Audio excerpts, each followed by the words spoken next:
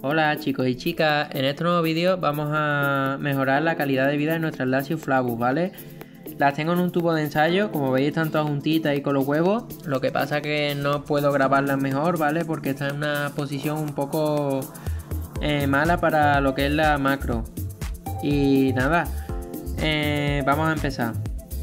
¿Vale? Como veis aquí en lo básico, un tubo de ensayo, eh, un algodoncito a un extremo para darle de comer, ¿vale?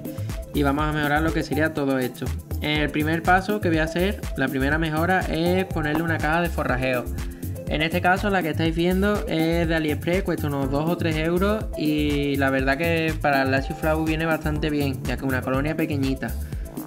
El siguiente paso que le voy a hacer es añadirle eh, un bebedero. ¿Vale? En este caso es Dan House y también os puedo dejar, si queréis, os dejo el link abajo en la descripción de todo. Como veis lo rellenamos, ¿vale? Lo he rellenado de básicamente agua con azúcar. Eh, si queréis me podéis poner en los comentarios y os enseño a hacerlo en otro vídeo.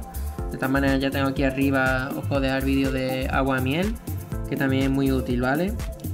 El siguiente paso eh, se lo voy a acoplar a lo que sería acá de forrajeo. Como veis, eh, cabe muy bien ¿vale? Cabe perfectamente ahí en una esquinita y se queda muy bien.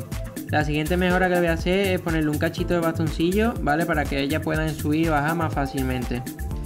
Esto eh, viene de los aires acondicionados, lo podéis encontrar en cualquier ferretería o lo que sea. Es una esponja, ¿vale? Como una espumita que nos va a servir de aislante. ¿Por qué? Porque al Lasius flavus son muy propensas a... no les gusta nada lo que son las vibraciones ni la claridad, ¿vale? Es una especie que siempre vive en oscuridad. Y como último consejo así, eh, os voy a explicar un poquito, ¿vale? Que los tubos de ensayo no los llenéis mucho de agua, porque esta especie es muy sucia y siempre llena los algodones de hongo, ¿vale? Entonces si y son muy reacias, hace una mudanza. Así que ya sabéis, lo llenáis como un dedito más o menos de agua y con eso tienen suficiente para que podáis hacer mejor la mudanza. Espero que os haya gustado y hasta otra.